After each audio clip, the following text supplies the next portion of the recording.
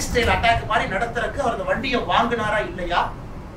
அந்த வண்டியை வாங்கின பிறகு வெளியிருக்கக்கூடிய ஏஜென்சி அலர்ட் கொடுத்து அந்த ஈரோட்டில் ஒருத்தனை சேலத்தில் ஒருத்தனை மூன்று மாதங்களுக்கு முன்பு தமிழக காவல்துறை அரெஸ்ட் பண்ணீங்களா இல்லையா அதை ஒத்து அதை எல்லாம் மறைச்சு மறைச்சு மறைச்சு எந்த விஷயத்தையுமே வெளியே தெரியாம இது கிட்டத்தட்ட ஐஎஸ்ஐஎஸ் உடைய கலவர பூமியாக கொங்கு பகுதி குறிப்பாக கோயம்புத்தூர் சேலம் ஈரோடெல்லாம் மாறிட்டு இருக்கு. ஒரு ஒரு முறையும் மறக்கும் பொழுது மறைக்கும் பொழுது பத்திரிகை நண்பர்களுக்கு நமக்கு தெரிய மாட்டேங்குது கேள்வி கேட்க முடியல. எல்லாமே டிப் ஆஃப் த ஐஸ்பர்க் டிப்ல வந்து வந்து நிற்கும் இந்த முறை இந்த ஜமீஷா மும்பினுடைய நிகழ்வு கூட டிப்ல வந்து நின்றுட்டு போயிருக்கு. அவங்க கொண்டு வந்தது என்ன? ஸ்பீட் பிரேக்கர் மேல வண்டி ஏறி இறங்கும் பொழுது அந்த சிலிண்டர் ஹெட்டு கலண்டுருச்சு அந்த பையன் வெளியே வந்து ஏன் சிலிண்டர் ஹெட்டு கலண்டுச்சுன்னு அதெல்லாம் போட்டு எல்லாம் போட்டு சேர்த்து பொழுது வெடி வெடிக்கும் இது ஏன் காவல்துறை மறுக்கிறீங்க? இது கோயம்புத்தூர்ல இருக்கிற கான்ஸ்டபிளுக்கு போன் அடிச்சு சொன்னா கான்ஸ்டபிள் நண்பர் சொல்றாரு என்ன ஆச்சுன்னா யார் வீட்டிலிருந்து வண்டி கிளம்பிச்சு சிசிடிவி ஃபுட்டேஜ் என்ன இருக்கு? வண்டி அந்த கோயிலுக்கு முன்னாடி இருக்கிற ஸ்பீட் பிரேக்கரில் ஏறி இறங்கும் பொழுது சிலிண்டர் ஹெட் கல்டு வந்துருச்சு. ஒரு நான்கு நிமிடம் காரை சுற்றி சுற்றி வந்து சிலிண்டர் ஹெட்டை ஃபிட் பண்ணார். இதையெல்லாம் மறுக்கிறது தமிழக உள்துறை தமிழக இன்டெலிஜென்ஸ் தமிழக காவல்துறை நண்பர்கள் நம்முடைய முதலமைச்சர் அவர்கள். ரொம்ப வருத்தமாக இருக்கிறது. இதெல்லாம் பேசக்கூடாது என்றுதான். ஏன்னா எங்களுக்கும் எங்களுடைய பொறுப்புணர்வு தெரியும். ஒரு காவல்துறையை சும்மா குற்றச்சாட்டு சொல்லக்கூடாது. அவர்கள் மனம் முடிந்து விடுவார் ஆனால் நான்கு பேர் அதை வந்து பொலிட்டிக்கல் துறையாக மாற்றி வைத்திருக்கின்றார்கள். இன்டெலிஜென்ஸ் துறையை பொலிட்டிக்கல் இன்டெலிஜென்ஸ் கேதரிங் தான் தொண்ணூத்தொம்பது சதவீத உள்துறை நடக்கும் failure after fail every single thing is fail அப்படி இருக்கும் பொழுது மறுபடியும் யூபிஏ ஒன்று இரண்டுல இந்தியாவில் ஒரு சூழல் இருந்துச்சு தீபாவளினா பட்டாசு வெடிக்கும். ஒரு பக்கம். தீபாவளினா பாம்பு வெடிக்கும் ஒரு பக்கம். பெங்களூர்ல ஹைதராபாத் கும்படி பார்க்கல பூனேல டெல்லியில எல்லா இடத்துலையுமே ஒரு பத்தாண்டு காலம் தொடர்ந்து குண்டு வெடிப்புகள் முக்கியமான நாளில் சுற்றி சுற்றி பல இந்தியா பார்த்துச்சு. கொத்து கொத்தாக நூறு பேர் இருநூறு பேர் முந்நூறு பேர் இறந்ததை பார்த்து அதுல மிக முக்கியமானது நவம்பர் இருபத்தி ஆறு இரண்டாயிரத்தி எட்டு மும்பை அட்டாக் அதனால் மறுபடியும் தமிழ்நாட்டை தலைநகரமாக வைத்து இது இந்தியாவில் ஊடுருவ முயற்சி பண்றாங்களா அப்படிங்கிற கேள்விக்கு முதலமைச்சர் அவர்கள் பதில் சொல்ல வேண்டும். அதனால் பத்திரிகை நண்பர்கள் துணிவாக இதை நீங்கள் கேள்வி கேட்டு இந்த அரசை இது தற்கொலைப்படை தாக்குதல் என்று சொல்ல ஒத்துக்கொள்ள வேண்டும். தற்கொலை படை தாக்குதல் ஒத்துக்கிட்டாங்கன்னா இம்மிடியட்டா இன்னொரு எண்ணெயை கோயம்புத்தூருக்கு வேணும். இப்பத்தான் இத்தனை காலம் கடத்தி இரண்டு ஆண்டுகள் கடத்தி தமிழக பாரதிய ஜனதா கட்சி லெட்டர் மேல லெட்டர் அமித்ஷாஜிக்கு எழுதி இப்பதான் என்ஐஏவை போலீஸ் ஸ்டேஷனா டிக்ளேர் பண்ணிருக்காங்க கிட்டத்தட்ட மூன்று முறை கடிதம் எழுதியிருக்கு. தமிழ்நாடு அரசு இப்பதான் உள்துறை செயலாளர் அவர்கள் அனுமதி கொடுத்து ஒரு நாலு அஞ்சு- ஒரு வாரத்துக்கு முன்னாடி தான் தமிழ்நாட்டுக்கு இருக்கக்கூடிய என்ஐஏ ஸ்டேஷனை போலீஸ் ஸ்டேஷனுக்கு அனுமதி கொடுத்துருக்காங்க. சிஆர்பிசி பவர் கர்நாடகாவில் வேறு இடத்துலாம் போய் பாருங்கள் பெங்களூரில் என்னையே அவங்களே சொந்தமாக எஃப்ஐஆர் ரெஜிஸ்டர் பண்ணி சொந்தமாக பண்ணுறாங்க பதினாறு மாதங்கள் கடந்து அமைந்து இரண்டு வருடங்கள் கடந்து ஒரு எண்ணெயை ஒருத்தரை பிடிச்சா கூட லோக்கல் போலீஸ் ஸ்டேஷனில் போய் தான் அந்த ஆளை கொடுக்க வேண்டிய சூழ்நிலை இத்தனை காலமாக இருந்துச்சு. அந்த லோக்கல்ல இருக்கிற ஏட்டையாக்கு இது ஐஎஸ்ஐஎஸ்னா தெரியுமான்னு தெரியாது. என்ஐஏனா என்னன்னு தெரியுமான்னு தெரியாது. ஏட்டையா பார்த்து போறதா எஃப்ஐஆர் அப்படிதான் தமிழகத்தை வச்சிருந்தாங்க. இன்னைக்கு தான் மிக கடினமான ப்ரெஷர் போட்டு NIA declared as police station ஒரு வாரத்துக்கு முன்னாடி அதனால் நம்முடைய நண்பர்கள் உணர்ந்து கொள்ள வேண்டும். சாராயத்திற்கு எவ்வளவு முக்கியத்துவம் கொடுக்குது இந்த அரசு? தீபாவளி அன்னைக்கு மூணு நாளைக்கு அறுநூத்தி ஐம்பது கோடி ரூபாய்க்கு மேல சேல்ஸ் அதை மானிட்டர் பண்றாங்க. அதை பத்தி பேசுறாங்க. அதை பத்தி யாரோ மூன்று நண்பர்கள் இன்னைக்கு வந்து பத்திரிகை பத்திரிகை நண்பர்கள் செய்தி போட்டுருந்தாங்க தமிழ்நாட்டில் டாஸ்மாக்ல இவ்வளவு சேல்ஸ் ஆயிருக்கு. இந்த கோயம்புத்தூர் வெடிகுண்டு விபத்து என்று சொல்லக்கூடிய திமுக அரசு அது அனைவருக்குமே தெரியும். அது வந்து தற்கொலை படை தாக்குதல் அதை கூட பேச மறுக்கக்கூடிய சாராய அமைச்சர் உடனடியா வந்து இந்த மூணு ஜேர்னலிஸ்ட் த்ரெட்டன் பண்றாங்க. நாங்க சும்மா விட மாட்டோம். ஆமா மூன்று ஜேர்னலிஸ்ட் மூன்று போட்டு அதே ஆளுங்கட்சியை சார்ந்த தொலைக்காட்சி நிறுவனம் போட்டாங்க. அவங்களுக்கு மிரட்டல் கிடையாது. ஆளுங்கட்சியை சாராத ரெண்டு நண்பர்கள் போட்டாங்க அவங்களுக்கு மிரட்டல். அதனால்தான் நம்முடைய சாராய அமைச்சருக்கு ஒரு விஷயத்தை சொல்லிக் கொள்ள விரும்புகின்றோம். சாராயம் என்று குழப்பம் நடத்துற உங்களுக்கே இவ்வளவு இருந்தா மாத சம்பளம் வாங்கி நேர்மையாக ஒரு பைக்ல வந்து வெயில நின்று நியூஸை சேகரிச்சு கொடுக்க வேண்டும் என்று நினைக்கக்கூடிய நெஞ்சுரம் மிக்க நம்முடைய சகோதர சகோதரிகளுக்கு பத்திரிகையாளருக்கு எவ்வளவு? சாராயத்தை வைத்து கமிஷன் வாங்கி பிழைப்பு நடத்தக்கூடிய ஒரு அமைச்சருக்கு இவ்வளவு? நெஞ்சுரம் இருக்குல்ல அவருக்கு எவ்வளவு? அதான் நான் ஒரு பதிவாக போடுவேன் அதனால நீங்க எந்த பத்திரிகையாளர் மேல கேஸ் போடணும் அந்த கேஸ் எங்க மேலே போடுங்க. அதே ஃபேக்டர் நாங்க சொல்றோம். நீங்கள் சாராயத்தை விற்க வேண்டும் என்று கவனம் தற்கொலை படை தாக்குதலை போட்டது உண்மைதான். உண்மைதான் முதலமைச்சர் எத்தனை ரிவ்யூ மீட்டிங் எடுத்திருப்பாங்க தீபாவளிக்கு முன்னாடி. எவ்வளோப்பா விற்பீங்க? எத்தனை கடை ஓப்பன் பண்ணியிருக்கீங்க அதுவும் பாருங்க எவ்வளோ அநியாயம்னா அந்த டேட்டாவை பார்த்தீங்கன்னா உங்களுக்கே நெஞ்சு பொறுக்காது. அவங்க ரிவ்யூ மீட்டிங்ல அவங்க பண்ற அந்த அநியாயத்தை பாருங்க. எவ்வளவு விஷயங்கள் அவங்க போட்டு வைத்திருக்கிறாங்க தீபாவளி போன வருஷம் நானூத்தி முப்பத்தஞ்சு கோடி ரெண்டு நாள் ஐயாயிரத்தி நானூத்தி ரெண்டு கடை ரெண்டாயிரத்தி எட்நூத்தி எட்டு டாஸ்மாக் பார். இந்த வருஷம் எழுநூறு கோடி கிட்டத்தட்ட மூன்று நாள் ஐயாயிரத்தி முன்னூத்தி எண்பது கடை மூவாயிரத்தி இருநூத்தி நாற்பது டாஸ்மாக் பார். அதாவது கடைகளும் டாஸ்மாக் பாருமே அதிகப்படுத்திருக்காங்க கிட்டத்தட்ட பதினைந்து சதவீதம் அதிகமாக இருக்கு நேரத்தை அதிகப்படுத்திருக்காங்க இவ்வளவு விஷயங்கள் ஒரு ரிவ்யூ மீட்டிங் பண்ணி சாராயத்தை சம்பாதிக்க வேண்டும் என்று நினைக்கக்கூடிய முதலமைச்சர் சாராய அமைச்சர் ஒரு ரிவ்யூ மீட்டிங் செக்யூரிட்டிக்காக போட்டிருக்காங்க. லா நாடுக்காக போட்டிருக்காங்க. என்ஐஏ எல்லாத்தையும் உட்கார வச்சீங்களா பேசுனீங்களா என்ன ஹெல்ப் வேணும்னு கேட்டீங்களா? ஐபியை கூப்பிட்டீங்களா? எதுவுமே செய்யும் அதனால் முதலமைச்சர் அவர்கள் கண்ணியத்தின் அடிப்படையிலே ஒரு கண்ணாடி முன்னாடி நின்று உண்மையாலுமே உள்துறையை நிர்வாகிக்கூடிய திறன் அவருக்கு இருக்கா அப்படிங்கிற கேள்விக்கு அவர் பதிலளிக்க வேண்டும். பத்திரிகை நண்பர்கள் மிச்ச விஷயத்தை கூட நீங்க கேள்வியா கேட்க வேண்டும் என்று சொல்லி இந்த பத்திரிகையாளர் சந்திப்பு வந்திருக்கக்கூடிய அனைவருக்கும் பாரதிய ஜனதா கட்சி நிறுவன வணக்கத்தை தெரிவித்து உங்களுக்கு ஏதாச்சும் கேள்வி இருந்தா கேளுங்க.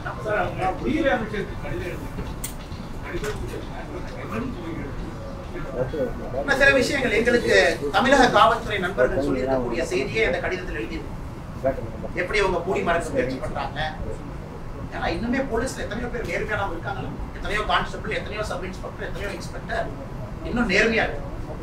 முதல் நாள்ல இருந்து அவர்களுக்கு தெரியும் இது ஒரு டெரர் அட்டாக் இது ஒரு சூசைட் அட்டாக் நோக்கி போதும் ஆனா யாரையுமே பேச விடாம சிலிண்டர் பிளாஸ்ட்னு சொல்லு சிலிண்டர் பிளாஸ்ட்னு சொல்லுன்னு எல்லாம் எழுதியிருப்பாங்க. இது என்ன எப்படி? இந்த வாட்ஸ்அப் ஸ்டேட்டஸ்ல என்ன வச்சிருக்காங்க? எல்லாம். அதனால் நாங்கள் கேட்டிருப்பது என்ஐஏக்கு இரண்டு விதத்துல செல்ல முடியும். ஒன்று மாநில அரசு என்ஐஏ அனுப்பலாம். செகண்ட் மத்திய அரசு நிர்பந்தம் செய்திருக்கின்றோம். உடனடியாக என்ஐஏ. ட்ரான்ஸ்ஃபர் பண்ணுங்க பட் அதை விட முக்கியம் என்னன்னா ஒரு ஐபிஓ வேறு வேறு சென்ட்ரல் ஏஜென்சி இருப்பது? ஒரு இன்புட்டை கொடுக்குறது. என்ஐஏ இருப்பது ஆட் பண்ண ஆனா தமிழ்நாட்டினுடைய கியூ பிரான்ச் மிக முக்கியமாக இருபது ஆண்டுகளுக்கு மேல இந்தியாவிலே ஒரு சிம்ம சொப்பனமான ஏஜென்சி நம்முடைய கியூ பிரான்ச் எதுவுமே நடக்கிறதுக்கு முன்னாடி ஒரு ஸ்டெப் கியூ பிரான்ச் முன்னாடி ஆனா கியூ பிரான்ச் எங்க இருக்குன்னா ஒரு ஸ்கூல்ல நடக்கிற அட்டாக்க கூட சொல்ல முடியாத பிரான்ச் அந்த அளவுக்கு கியூ பிரான்ச் அதனால எங்களுடைய வருத்தம். கியூ பிரான்ச்சை மறுபடியும் ஆக்டிவேட் பண்ணுங்க. பெஸ்ட் ஆபீசர்ஸை கொண்டு வாங்க. பொலிட்டிக்கல் அப்ளிகேஷனை பார்க்காதீங்க என்பதுதான் மிக முக்கியம். அது முதலமைச்சர் செய்யணும் அமித்ஷாஜி அவர்கள் இன்வெஸ்டிகேட் பண்ணலாம் என்னைய மறுபடியும் போடலாம் அந்த மாடியூல டிஸ்டர்ப் பண்ணலாம். இல்ல சம்பந்தப்பட்டிருக்கக்கூடிய ஒரு அஞ்சாறு பேர்த்த தூக்கிட்டு வரலாம் அரெஸ்ட் பண்ணி ஜெயில போடலாம். முகமது அசருதீன் ரெண்டாயிரத்தி பத்தொன்பதுல இருந்து கொச்சின் ஜெயில இருக்கார். அதெல்லாம் ஒரு பக்கம் தானே. மிக முக்கியமானது மாநில அரசு ஏன்னா போலீஸ் என்பது நூறு சதவீதம் மாநில அரசு கட்டுப்பாடு. நூறு சதவீதம். உள்துறை என்பது நூறு சதவீதம் ஸ்டேட் லிஸ்ட்ல மாநில அரசு கையில் இருக்கிறது அப்படி இருக்கும் பொழுது உங்கள் கோட்டை விடுவதை எப்படியும் கூட ஏற்றுக்கொள்ள முடியாது என்பதுதான் எங்களுடைய வாதம்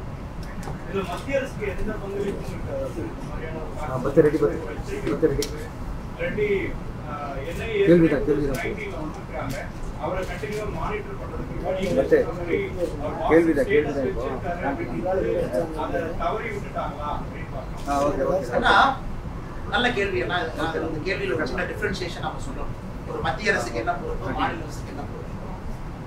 ஆனா அந்த ஸ்டேட் லிஸ்ட்ல தான் வந்து போலீஸை கொண்டு வரும் போலீஸ் என்பது மாநில அரசு. ஏன்னா அது கரெக்ட் தான். மத்திய அரசு கையில் இருக்கக்கூடாது. ஏன்னா ஒரு மாநில அரசுடைய மிக முக்கியமான துருப்பு வந்து போலீஸ் காவல்துறை மாநில அரசு கையில் இருக்கும் பொழுதுதான் மாநில அரசு மிக நல்ல ஒரு அட்மினிஸ்ட்ரேஷன் கொடுக்க முடியும் இது ஆரம்பத்தில் நம்முடைய கான்ஸ்டியூஷன் பேசும் பொழுதே அது மத்திய அரசுக்கு வேண்டுமா மாநிலத்துக்கு வேண்டுமா மாநிலத்துக்கு இப்போ உதாரணத்திற்கு என்னைய ஒருத்தரை பிக் பண்ணது இன்வெஸ்டிகேட் பண்ணது அவங்க திரும்ப போறாங்கன்னா இப்போ என்ஐஏக்கு தமிழகத்தை பொறுத்தவரை அரஸ்ட் பண்ற கூட டெக்னிக்கலா பவர்ஸ் ஏன்னா போலீஸ் ஸ்டேஷன் பவர்ஸ் ஒரு டெக்னிக்கலா அதனாலதான் கோயம்புத்தூர்ல பிக் பண்றவங்க என்ஐஏ கொச்சின் ஆபீஸுக்கு நியாயமா கேட்டீங்கன்னா கோயம்புத்தூர்ல எஃப்ஐஆர் தமிழ்நாட்டுக்கு போடணும் காரணம் என்ன எஃப்ஐஆர் போடுறதுக்கு அனுமதி அதிகாரம் இல்லை. ஸோ அப்படித்தான் தமிழக சூழ்நிலை ஒரு வாரத்துக்கு முன்னாடி வரைக்கும் ஒன் வீக் பேக் மூன்று கடிதம் அமித்ஷா மூன்று கடிதம். உடனடியாக நீங்கள் வந்து மாநில அரசு ஏன்னா மாநில அரசு தான் உள்துறை செயலாளர் தான் அந்த சிஆர்பிசியில் அந்த பவர்ஸ் அவர் தேர்ந்தார் மத்திய அரசுக்கு அந்த பவர்ஸ் இல்லை. ஆனால் நீங்கள் நிர்பந்தப்படுத்தணும் முதலமைச்சர் நிர்பந்தப்படுத்தணும் கொடுத்துருக்காங்க. இதில் யாரெல்லாம் சஸ்பெக்ட் நம்ம ஃபில்டர் பண்ணுறோமோ கியூ பிரான்ச்சோட லிஸ்ட்டை எப்பவுமே பார்ப்பான். அதெல்லாம் அதிகமாக பேசினா அப்புறம் கியூ பிரான்ச்சுக்கு அது தொந்தரவாயிரும். அப்படி இருக்கும் பொழுது எப்படி கோட்டை விட்டார்கள் என்பதுதான் ஆச்சரியம். அதை விட மிக முக்கியமாக ஒருபடி மேல போய் இருபத்தி ஒன்று அக்டோபர் வாட்ஸ்அப் மெசேஜ் நீங்க மானிட்டர் பண்ணிருக்கோம்னா ஒரு வாட்ஸ்அப் மெசேஜ்னுடைய ஸ்டேட்டஸ் ரெண்டு நாட்கள் ஏன் விட்டுருக்கீங்க? அப்படிங்கறதும் ஆச்சரியம். ஆனா என்ஐஏக்கு மொத்தம் இருக்கு. ஏன்னு பாத்தீங்கன்னா ஒரு நாலு ஸ்டாஃப் இருப்பாங்க. தமிழ்நாட்டினுடைய என்ஐஎஸ்பி உட்கார்ந்து இருக்கிறது பெங்களூர்ல ஒருத்தர் இருக்காரு. தமிழ்நாட்டில் ஒரு அதிகாரி இருக்காங்க இந்த மத்திய அரசை நீங்க அதிகமா உள்ள விட்டீங்கன்னா நீங்க மாநில அரசு கம்ப்ளைண்ட் பண்ணும் என்னை பொறுத்தவரை என்ஐஏவை இன்னும் இருபது மடங்கு தமிழகத்தில் அதிகப்படுத்த வேண்டும் என்கிற ஆசை. ஆனா அதுக்கு மாநில அரசு ஒத்துக்குமா? உதாரணத்துக்கு நம்ம சொல்றோம். இல்ல என்ஐஏக்கு நீங்க அனுமதி கொடுங்க. இன்னும் இருபது பர்சன்ட் கொடுங்க. முடியாது தவறு. ஒரு அரசியல் கட்சி நம்முடைய கட்சி ஆட்சியில் இருந்தாலும் கூட அந்த வார்த்தையை நான் பயன்படுத்த மாட்டேன். காவல்துறை என்பது எப்பொழுதும் மாநில அரசு கட்டுப்பாட்டில் தான் இருக்கும். அது தவறுச்சுன்னா மாநில அரசால வேலை செய்ய முடியாது. இதற்கு முதலமைச்சர் கவனம் கொடுக்கிறாரான்னு தான் நமக்கு கேள்வி. பதினாறு மாசம் ஆச்சு ஒரு போலீஸ் ஸ்டேஷனுக்கு அப்ரூவல் சரி, சார் பிஎஃப்ஐ நீங்க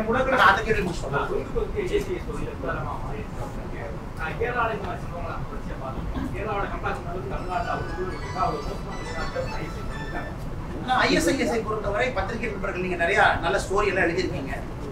அதுல பாலக்காடு மாடியூல் வந்து ரொம்ப ஆக்டிவா இருக்கக்கூடிய ஒரு மாடியூல் அவங்க தான் இந்த ஈஸ்டர் பாம்பிங்ல வந்து கட்சியில இருந்து உள்ள இருக்காங்க. கொச்சின் மாடியூல் ரொம்ப ஆக்டிவ் இந்த பாலக்காடு பார்டரை தாண்டி இருக்கிறனால கோயம்புத்தூரும் பலகாலமாகவே ர- பலகாலமாகவே ஆக்டிவாக இருக்கிற ஒரு பகுதி. ஆனால் அது வந்து சேலத்தில் ஒருத்தர் அரெஸ்ட் பண்ணியிருக்காங்க ஈரோட்டில் அரெஸ்ட் பண்ணிருக்காங்க மூணு மாதத்துக்கு முன்னாடி ரொம்ப ஆச்சரியமா இருந்துச்சு. நாங்களும் அதை பெரியப்படுத்தவில்லை தேவையில்லாம மக்களை பேனிக் பண்ணக்கூடாது. நாம தேவையில்லாம அதை சொல்லி Paris style truck attack bomb அட்டாக்னா சொன்னா மக்கள் பயந்துக்குவாங்க.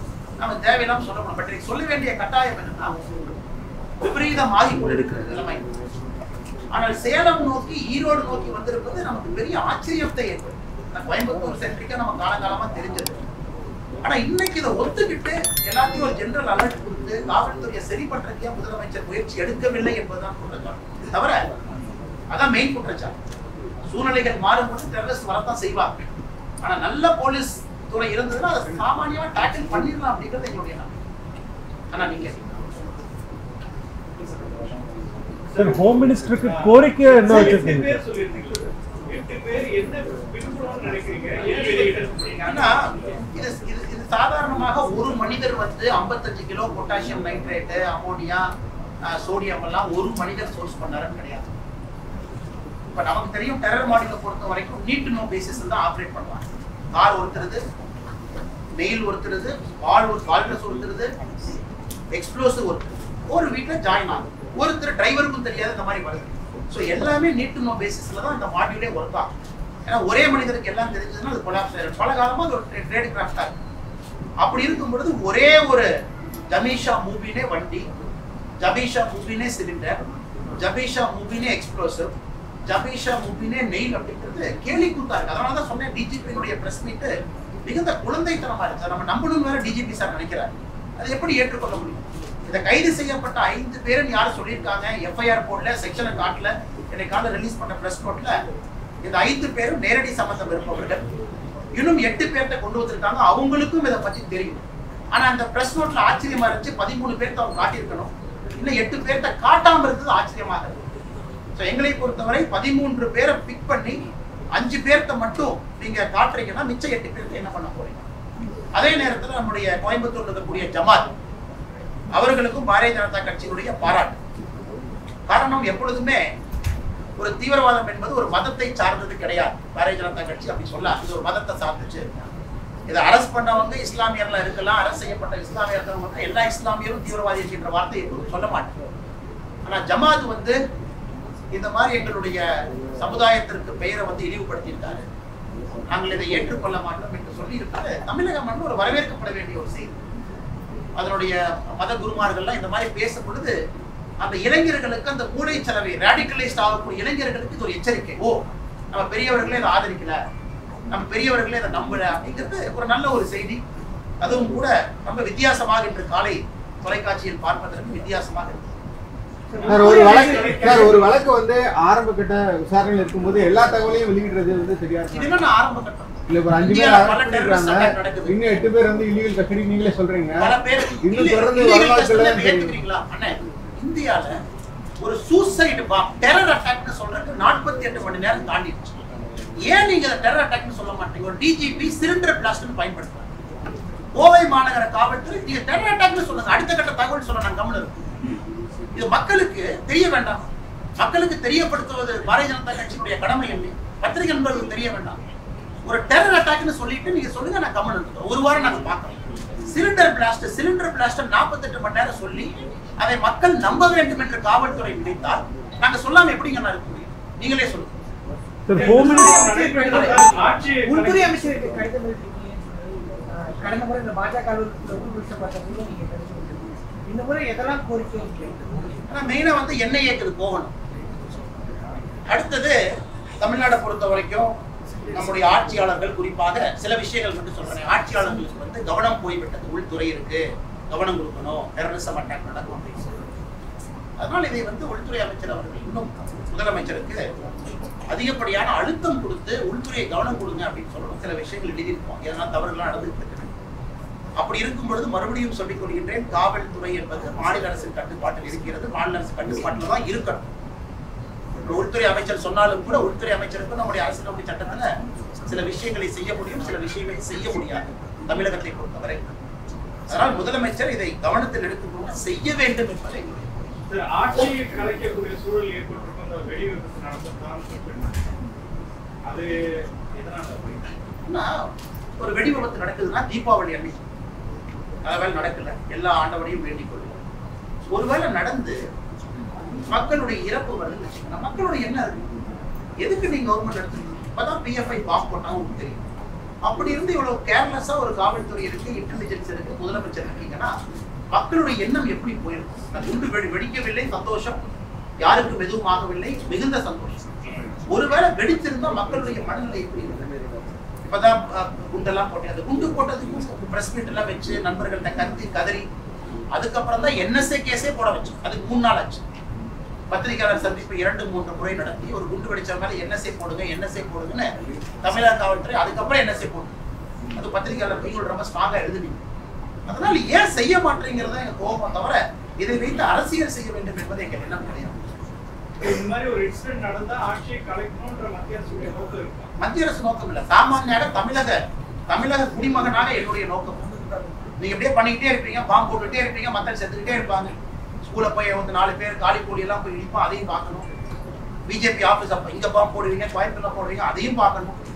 அப்புறம் எங்களுடைய சப்போர்ட்டர்ஸ் எல்லாம் போய் அடிப்பீங்க அதையும் பார்க்கணும். ஆனா பாரதிய ஜனதா கட்சி அமைதியான முறையில கையை கட்டி நாங்க நிக்கிறோம். இல்லையா அண்ணா? நாங்க மாநில தலைவரா சொல்லிட்டே இருக்க யாரும் இது பண்ணக்கூடாது அமைதியா இருக்கு அப்ப காவல்துறை எதுக்கு முதலமைச்சர் எதுக்கு இருக்காரு? அப்படி இருக்கும்போது தமிழகத்துல இருக்கக்கூடிய சாமானிய மனிதன் அதை கேட்பான் எதுக்கே நீங்க ஆட்சி நடத்துறீங்க? யாரை நோக்கி இருந்திருக்குன்னு ஒரு ஐடியா இருக்கா? நம்ம தேவையில்லாம அதை சொல்லி ஒரு மதத்துக்கு இடையில் நாம அதை ஏற்படுத்தக்கூடாது. தீபாவளி தீபாவளிக்கு முந்தின நாள் ஐஎஸ்ஐஎஸ் சம்பந்தம் இருக்கு. அதுக்கப்புறம் நீங்க அந்த யூஎம்ல முடிச்சு ஆனா தொடர்ச்சியா தமிழ்நாடு அரசு இந்த விஷயத்தை ஒரு மறைக்கிறாங்க. நிச்சயமா. அவங்க என்ன சொல்றாங்க சிலிண்டர் வெடிச்சிருச்சுப்பா. நாங்க நல்லாதான்ப்பா இருக்கோம். தமிழ்நாடு அரசுடைய ஒரே ஸ்டாண்ட்னா சிலிண்டர் வெடிச்சிருச்சு. அது வீட்ல எல்லாம் வெடிக்கிற மாதிரி ரோட்ல வெடிக்கிற மாதிரி நாங்க நல்லாதான் இருக்கோம். எங்க ஆட்சி சிறப்பா இருக்கு. நாங்க எதுவும் போட்ட விடல. எங்க காவல்துறை கண்ணியமா இருக்கு சூப்பரா இருக்கு. சிலிண்டர் வெடிச்சிருச்சு. இதைத்தானே சொல்றேன். இந்த பத்திரிகை நம்பர் நேற்று நல்ல கேள்வி ஆனா சிலிண்டர்ல எப்படி பக்கத்துல அந்த நெயில் இருந்துச்சா அந்த கவுண்டர் பண்ணி செஞ்சது இது மாதிரி. ஆமா நெயில் அதுல பால்ட்ரஸ் குண்டு இருந்துச்சா கோழி குண்டு இருந்துச்சா ஆமா இருந்துச்சு. அப்ப எப்படி நீங்க டெரர் அட்டாக்னு சொல்லல? இல்ல அது சிலிண்டர் தான் இருந்துச்சு இதைத்தான் டிஜிபி சார் சொல்றாரு. இதை எப்படி ஏற்றுக்கொள்ள முடியும்? இன்னைக்கு வாட்ஸ்அப் ஸ்டேட்டஸ் மெசேஜ் சொல்றேன். அது காவல்துறை இல்லை என்று பாருங்க. சிலிண்டர் வெடிப்புன்னு சொல்றதுக்காக ஏடிஜிபி இன்டெலிஜென்ஸை ஃபெயிலியர் அப்படிங்கறத நாங்க தொடர்ந்து சொல்லியிருக்கோம் மாத்துறது மாற்றாத முதலமைச்சருடைய விருப்பம். அது முதலமைச்சருக்கு பவர் இருக்கு. அவர் தான் அரசியலமைப்பு சட்டத்தின் மீது பிரமாணம் எடுத்திருக்கிறார். அவருடைய விருப்பம். நாங்கள் சொல்வது இன்டெலிஜென்ஸ் தோற்றவிட்டது. நீங்க மாத்துறீங்களா? இன்னொருத்தரை கொண்டு வர்றீங்களா? புதுசா போடுறீங்களா? உங்களுக்கு விட்டது. தமிழக மக்கள் சார்பாக எங்கள் கோரிக்கை இன்டெலிஜென்ஸ் டிபார்ட்மெண்ட் பாஜக தலைவர்களுக்கு கூடுதல் பாதுகாப்பு கொடுக்கணும் அப்படிங்கிறதையும் ஏற்கனவே இருக்கிற ப்ரொடக்ஷன் நிச்சயமாக தமிழகத்துல பாரதிய ஜனதா கட்சி தலைவர்கள் மட்டும் இல்ல நிறைய பேருக்கு அரசு பாதுகாப்பு கொடுக்கணும். இந்த குறிப்பா இந்த பிஎஃப்ஐ அட்டாக் பிறகு சில பேருக்கு பாதுகாப்பு கொடுத்தாங்க வாபஸ் எல்லாம் வாங்கிட்டாங்க. அதனால அது வந்து குறிப்பாக வந்து மாநில அரசு கருத்தில் கொள்ள வேண்டும். பாரதிய ஜனதா கட்சி இல்லைங்க எல்லாத்தையும் பாதுகாக்க வேண்டியது மாநில அரசு பண்ணிட்டு ஏன் சில ஜேர்னலிஸ்டுக்கு தான் பாதுகாப்பு வேணும்னு நான் கேட்கிறேன். நீங்களும் தானே செய்தி போடுறீங்க. அதனால் மாநில அரசு இப்படியும் யோசிக்க வேண்டும். சில மனிதர்களுக்கு பாதுகாப்பு அதிகமாக தேவை. அது கொடுப்பது அரசனுடைய கடமை யோசிப்பார்கள். சார் சிலிண்டர் பிளாஸ்ட்னு சொல்றதுக்கு ஏதாவது உள்நோக்கம் இருக்குன்னு நினைக்கிறீங்களா நீங்க? ஆனா நேரட்டிவே மாறுதல் இப்ப நீங்க சிலிண்டர் அரசு இருபத்தி நாலு மணி நேரம் வலிச்சு சிலிண்டர் வெடிச்சிருச்சு நாற்பத்தெட்டு மணி நேரம் வெடிச்சு இன்னைக்கு காலையில கோயம்புத்தூர் மாநகர காவல்துறை செய்தி குறிப்பு. சிலிண்டர் வெடி விபத்து. இதான் போட்டுருக்காங்க. சிலிண்டர் வெடி விபத்துல அஞ்சு பேர் கைது காணும் ஏன்னா அந்த செக்ஷன் காமிச்சாங்கன்னா நெக்ஸ்ட் பத்திரிக்கையாளர் கேட்பீங்க சிலிண்டர் வெடி விபத்துக்கு இந்த செக்ஷன் வராது. UAPA section three four five வராது. அதை மறைக்கிறதுக்காக அந்த செக்ஷனை விட்டுருக்காங்க. நீங்க பாருங்க ஒரு பிஜேபி காரர் ரோட்ல போறாரு. அவருடைய வண்டியில ஒரு சின்ன ஆக்சிடென்ட் ஆகுதுன்னா உடனே செய்தி போட்டு செக்ஷன் போட்டு போடக்கூடிய அரசு. ஃபர்ஸ்ட் டைம் விசித்திரமா உங்களுக்கு தெரியல ஒரு பத்திரிகை செய்தி குறிப்புல செக்ஷனை காணும் செக்ஷனை பார்த்தா நீங்க அடுத்து ஃபோன் பண்ணி கேட்பீங்க சார் செக்ஷன் இருக்கு. இதுக்கும் சிலிண்டர் வெடிப்புக்கு சம்பந்தம் இல்லையா சார்? செக்ஷனை மறைப்பதற்காக உண்மையை மறைப்பதற்காக காவல்துறை செய்தி குறிப்பிலேயே பாதி விஷயத்தை இந்த டூ தௌசண்ட் நைன்டீன்லயே என்ஐஏ வந்து விசாரிச்ச பிறகு அவரை ஏன் இவரை மட்டும் விசாரி. என்னையே வந்து பல பேர்த்த விசாரிச்சு நான் இப்ப டர்க்கி மாதிரி அடுத்த மாடல் போறீங்கன்னு வச்சுக்கோங்க. இப்ப டர்க்கி சிரியா மாதிரி போனீங்கன்னா நீ பாதி பேர் தமிழ்நாடு ஜெயில தான் இருக்கு. உதாரணத்துக்கு அந்த குற்றவாளிக்கு நீ சொந்தக்காரன் குற்றவாளிக்கு நீ வந்து பக்கத்து வீட்டுக்காரன். என்னைய பொறுத்த வரைக்கும் இவங்க எல்லாம் ரெடார்ல அதாவது ரேடிகலைஸ்டு பீப்புள் தமிழ்நாட்டுல ரேடிகலைஸ்ட் பீப்புள் எனக்கு தெரிஞ்ச ஆயிரக்கணக்கில் இருக்காங்க. ரேடிகலைஸ்ட் பீப்புள் ரேடிகலைஸ்ட் ஆக்ட் பண்றதுக்கு தைரியம் இருக்கா தேர் ரேடிகலைஸ்ட் அது சரியான ஒரு வார்த்தையை பயன்படுத்த வேண்டும் என்றால் மூளை கலவை செய்யப்பட்டவர்கள் இவங்களும் அந்த கேட்டகரி. இல்ல அவங்களை நம்ம சரியா கண்காணிச்சிருந்தா இந்த துரிதமா ஹண்ட்ரட் பர்சன்ட் நான் சொல்றேன். இது எல்லாமே இன்னைக்கு கியூ பிரான்ச்சில் நீங்க கேளுங்க. என்னைய பிக் பண்ண தெரியுமா? கியூ பிரான்ச்சுக்கு தெரியும். அட்ரஸ் தெரியுமா? தெரியும். சர்வேலன்ஸ் போட்டீங்களா? பிரான்ச் சொல்லியிருப்பாங்க. ஒரு மூணு மாசம் போட்டோம் அதுக்கப்புறம் போடலிப்பாங்க அதுக்குள்ள நான் போக விரும்பல. ஏற்கனவே சொன்னேன். என்னுடைய வாயிலிருந்து அந்த வார்த்தைகள் வேண்டாம்.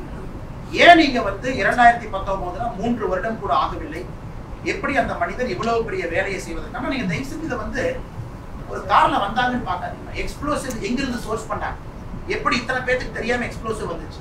இந்த கார் வந்து ஒன்பது பேர்த்த கை மாறி ஒன்பது பேர் கை மாறி வைக்க அந்த வீட்டுல இருந்து வெளியே வந்திருக்கு. ரெண்டு சிலிண்டர் எக்ஸ்ட்ரா இதெல்லாம் ஒரு மனுஷன் செஞ்சாங்கன்னு நினைக்கிறீங்களா? ஒரு நாள்ல செஞ்சாங்கன்னு நினைக்கிறீங்களா? மூன்று மாதங்கள் நான்கு மாதங்கள் நேரம் எடுத்து